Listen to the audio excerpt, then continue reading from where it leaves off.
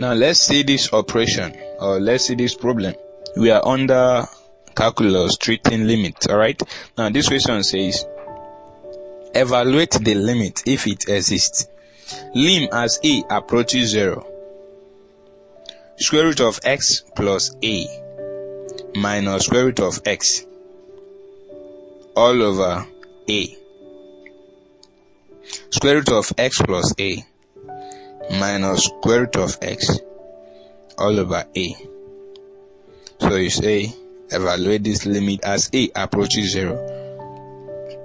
You discover that if you are to fix zero wherever you see a, you are going to have zero all over zero. So to avoid this, what are we going to do? Now pay attention. We are having lim as uh, a approaches zero square root of x plus a minus square root of x all over a. Now, this function, we are going to multiply this function by the conjugate all over the conjugate. That is the conjugate of the numerator. That's what we're going to take and then multiply it all over the conjugate. Hmm? Do you get what I'm saying? That means this function that we have, we're going to pick the numerator, the conjugate of the numerator, and then multiply this same function by the conjugate all over the same conjugate. You get what I'm saying? Now the conjugate is simply you take the numerator and then change the sign that is separating the two terms. Okay, now let me show you what I, I am trying to say. So we're going to have lim as a approaches zero, square root of x plus a minus square root of x all over a.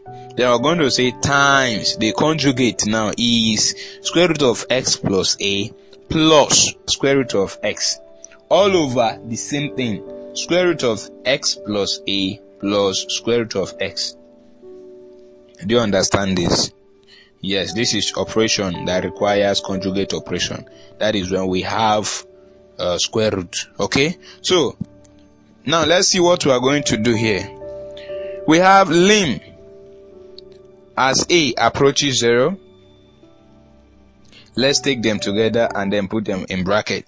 So we are going to have square root of x plus a minus square root of x in bracket times square root of x plus a plus square root of x in bracket all over a. Then square root of x plus a plus square root of x in bracket. Do you see this right Good.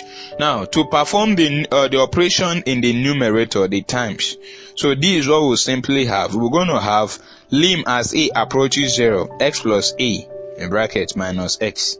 Please, for the sake of this problem, I created a video, okay, that I titled uh, conjugate operation. Please, uh, watch that video so that you understand what I did here. Okay, please try and watch it. Okay, so I used a shortcut. So in that video, I explained it in full. Now let's go. We have lim as a approaches zero, x plus a minus x all over a square root of x plus a plus square root of x. You know, in the numerator, if you perform the operation, this is what you arrived at. Now let's go.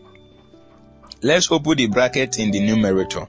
So if you open the bracket, we're going to have x minus x, which will give you what? 0, remaining a. So we're going to have lim as a approaches 0.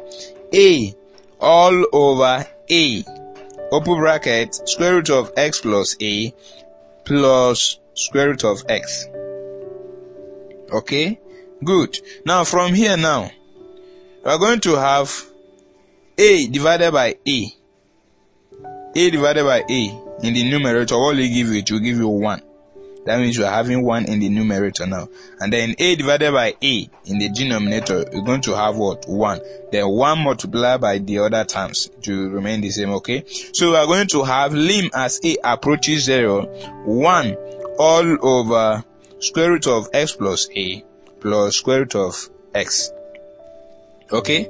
So that means from here now, there's nothing much we can do. Let's plug in our value 0. We're going to have lim as a approaches 0, 1 all over square root of x plus 0. That is, we plug in 0 now, okay? Square root of x plus 0 plus square root of x.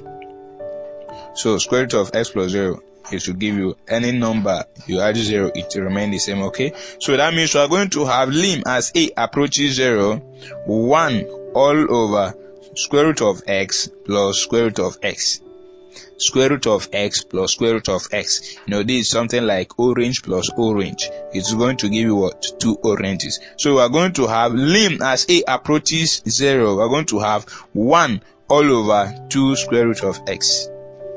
Okay, square root of x plus square root of x will give you 2 square root of x. Okay, so we're going to have lim as a approaches 0, 1 all over 2 square root of x. Yes,